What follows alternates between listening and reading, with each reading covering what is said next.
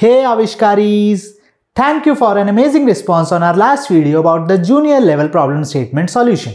Today, let's discuss the solution of middle level problem statement and understand the programming of line follower robot.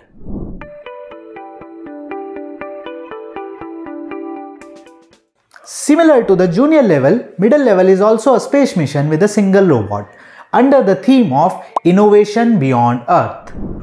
The robot was tasked to perform in two different modes. First mode is the programmable mode, where the robot needs to follow a black line track and carry out the task of transportation of resources from resource node to the lunar vault. While in second mode, the robot will switch from programming to manual mode and will carry out the task of delivering the resources to their harvest zones. Let's start coding the robot for the programmable mode. Initially, we will start with two variables. One for storing the count of black intersections and another for counting the resource placement. Next, we will use a repeat while loop and if conditions to make the robot move in forward direction and take turn when the robot is tilted to left or right. Next, if the sensor detects a black intersection, the robot will perform different actions based on the intersection number. So first, we will increment the intersection counter by 1 each time the robot detects a black intersection. Now, we have 3 resource junctions in our arena and each junction have 3 black intersections. So we will program our robot for one resource junction first. For the first intersection, the robot will stop and grab the resource and then take a left turn. To do this, we will use this function. With this function, the robot will first move forward until one of the sensor detects white. Then, the robot will take a full right while the left sensor is on white. And lastly, the robot will further take a right while the left sensor is on black. This allows the robot to take perfect 90 degrees turn on such intersections.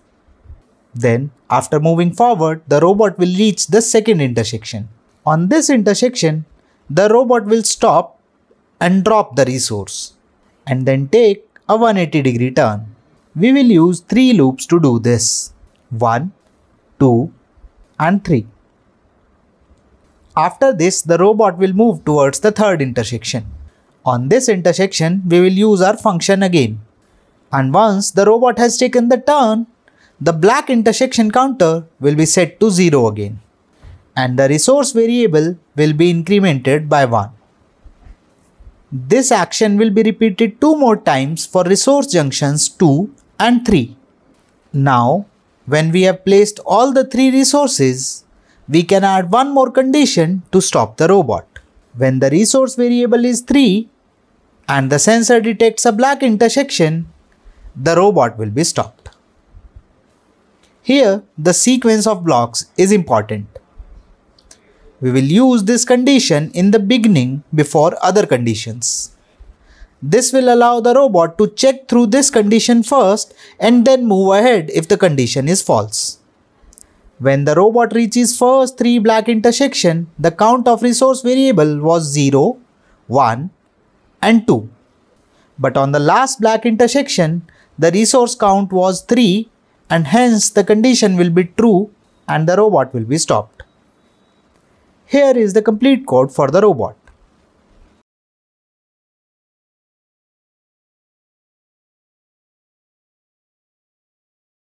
Test this code with your robot and don't forget to like the video and subscribe to the channel. We will meet in the next class. Bye bye.